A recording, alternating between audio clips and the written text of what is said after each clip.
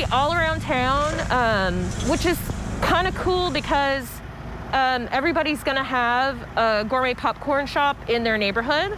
A renovated camper turned snack shack. This is how Froggy's popcorn owner Melanie Fisher pivoted when the pandemic hit and events were canceled.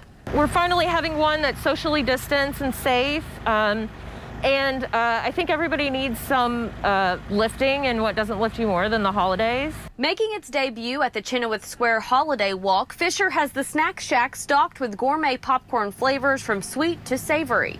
Chocolate ghost pepper. Uh, we have a Chicago style mix that's a apple pie, caramel, and white cheddar cheese mix.